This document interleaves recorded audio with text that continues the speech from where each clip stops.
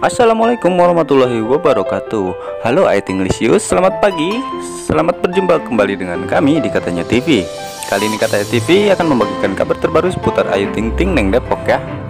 Namun sebelum lanjut ke videonya, alangkah baiknya kalian untuk like, komen, dan subscribe Serta aktifkan lonceng notifikasinya Agar kalian tidak tertinggal video-video kami selanjutnya. Dan bagi kalian yang sudah subscribe, kami ucapkan ribuan terima kasih ya.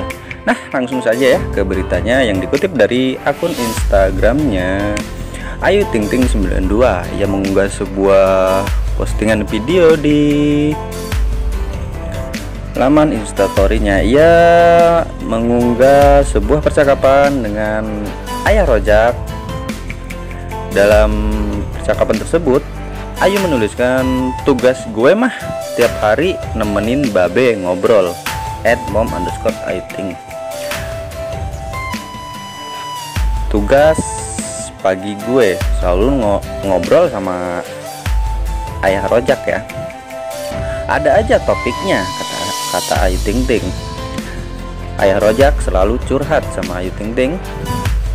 Dari curhatan tersebut lantas ayah rojak pun tiba-tiba menangis. Kata Ayu Ting Ting dia nangis lagi. Haha nangis pensiun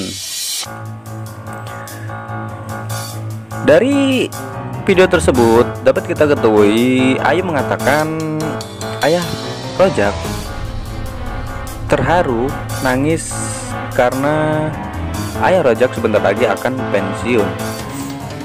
Kemudian ayah Rojak akan memberi uang kepada anak dan cucunya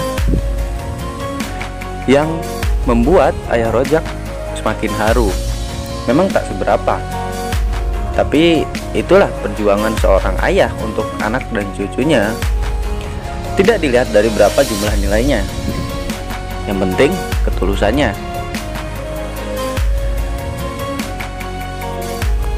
Nah, sahabat, bagaimana menurut kalian? Like video ini jika kalian suka dan tinggalkan komentar di kolom komentar. Katanya TV pamit. Wassalamualaikum warahmatullahi wabarakatuh.